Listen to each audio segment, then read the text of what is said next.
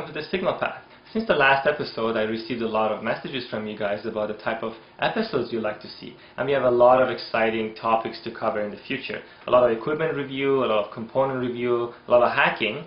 And today's episode is also for you hackers out there. We're going to see if we can combine this disposable camera and this Nixie tube. Well, specifically the flash circuit inside a disposable camera.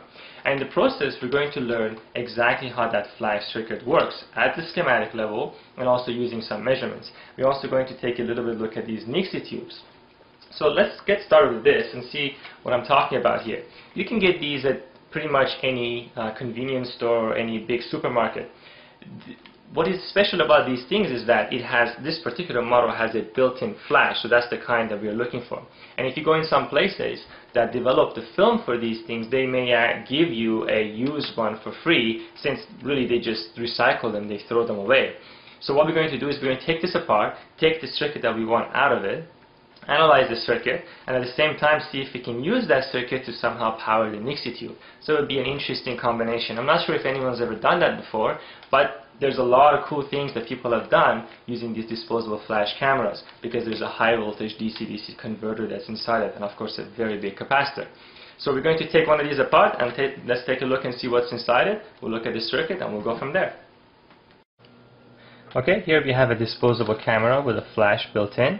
Before we take this apart, I have to warn you that you should only do this at home if you have experience with high voltage circuits.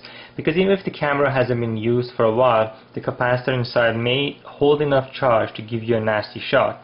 So never do this unless you have experience with this type of circuits. These type of cameras are all housed inside a paper container. And this, this is done because they want to be able to take this apart very quickly and take the film out. So I've already taken this apart, so we can throw that away. The top and the bottom are held together using these little um, plastic pins that you can put a screwdriver on and shift and then you can take that off. So I've done that also. So you can take the top cover off and we can throw that away. So if you look inside the camera, we can right away see this large AA battery, large with respect to the rest of the circuit, and you should always keep these even if you're not interested in the circuit itself because once the camera is used up and you're about to throw it away or give it away these guys usually still have enough charge in them to be useful for something else maybe a remote control for example so don't throw these away or if you do make sure you recycle them so here's a AA battery that powers the flash Here's the flash circuit itself. This entire PCB is only responsible for operating the flash circuit. At the top, you can see this little metallic pin this metallic piece here is actually the on and off button of the flash. There's a plastic button on the outside. When you press down, this thing comes down and connects the two pads that are right underneath it. And that closes the circuit and turns the flash on. On the front side of the camera, you can see that big capacitor I was telling you about. So this, this capacitor is what holds the charge for the flash.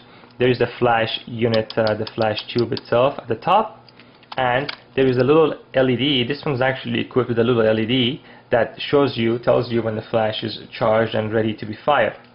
Interestingly enough I took apart another identical camera and that one had a neon lamp inside. So we'll talk a little bit about that when we're analyzing the circuit. So let's try and uh, uh, run this flash once and fire it and see how it works again so we have to be very very careful here so here's the on and off button and there's also two pieces of wire, two pieces of metal here, and these two pieces of metal are the uh, the mechanism that fires the flash itself. When you push the shutter button, a little uh, uh, lever comes down and briefly touches these two pins together. And I think I think that's the lever right here. This this thing comes down right there and touches those two pins together. When that happens, that's when the flash actually is fired. So we can charge it, and then I will manually do that so we can see the flash go off once. So I will push this down, and you will hear that characteristic noise that you hear when, um, when the flash is being charged and we'll talk about why that is later on. So here we go. So I can hear it charging, so I can see that the LED is turned on, meaning that the flash is fully charged and ready to be fired. So I'm going to let go of the button and I'm going to connect those two wires that I told you together very briefly and we can see the flash go off. There it is. So even though the flash went off, the capacitor is not fully discharged, so there is enough charge in there to give you a shock, so you have to be very careful. Um, so I'm going to discharge the capacitor first using a, uh, metallic piece. Take the battery out and then take the flash circuit out. So let's take the battery out first. I'll put that aside. And I can see the two terminals of the big capacitor at the top. You can see them right there. That's the first terminal and that's the second one there. So I'm going to use a screwdriver and discharge that capacitor before we move forward. Okay, I went ahead and discharged the capacitor off the camera. I will show you a, a, a, complete discharge using that method. It's just fun to do uh, later on during the video. So you can take the fly circuit out by moving this pin on the side. So let me do that. And here you go. So the fly circuit comes right out. Uh, it's one single unit. We don't need this. We can throw the rest of this out. And let's take a close look at this and see what components are involved in making one of these and then we will analyze the circuit.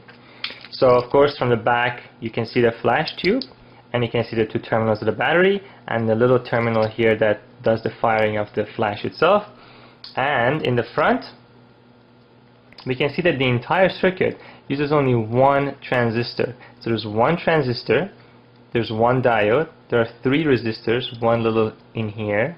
I hope you can see this on camera. Uh, there's one there and there's one resistor right there. There's a big transformer here and a little transformer on this side right here and there is another capacitor up here and a big one here. This big this is electrolytic capacitor. That's the capacitor that keeps the charge for the flash and this is an aluminum foil capacitor here that is uh, for a slightly different function so I'll tell you about that later. And uh, here this transformer has a top connection.